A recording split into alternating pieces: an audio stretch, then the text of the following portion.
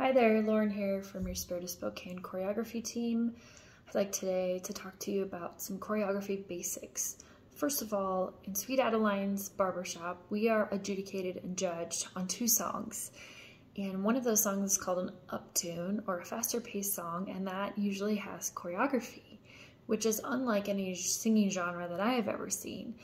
And we are judged on a lot of things, but mostly it's just like clarity and confidence of the moves. And so there's a few terms that I think are helpful for everybody, even if you're a, an old fart like me now being in uh, Spirit of Spokane. The first terminology I want you to think about is called down the tiles. Down the tiles is, is that you're not looking at the director, but rather you're looking straight out, imagining that the tiles of the floor, there's a line right here going right through your chest. Depending on where you are on the risers, you know, if you're right in the middle, you don't hardly ever turn.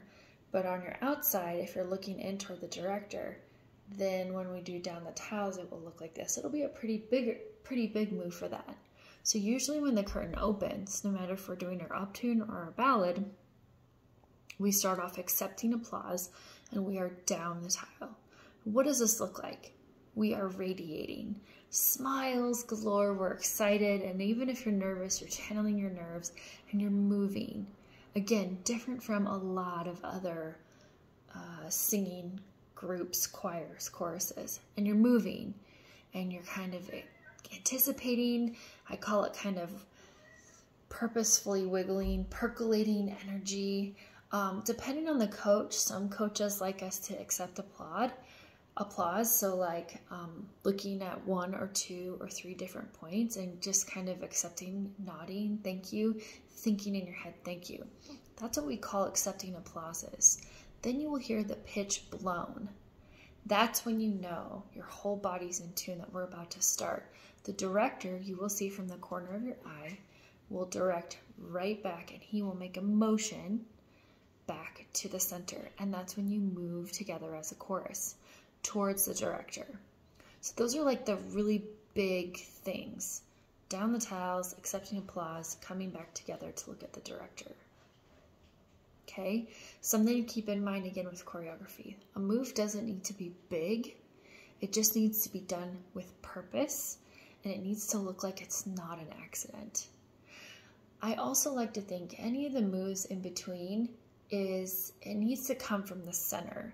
So either your thighs, your abs, your big muscles, your gut. So again, this has to do with confidence. And when you do a move, it needs to come from kind of this center area. So I want you to watch. Excuse my sweatpants. So there's a difference between this and this. So you're kind of coming in from the gut, the center, and the thighs.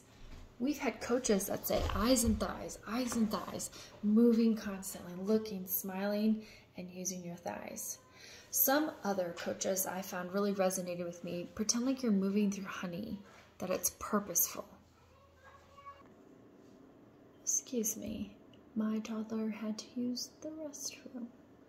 Anyway, as we're wrapping up our uptune and even our ballad, we usually end a song down the tiles. There might be a move, and then you will be released by the director accept applause, and then either the curtain will lower or you will be focused back onto the director with the pitch of the next song. So let's recap.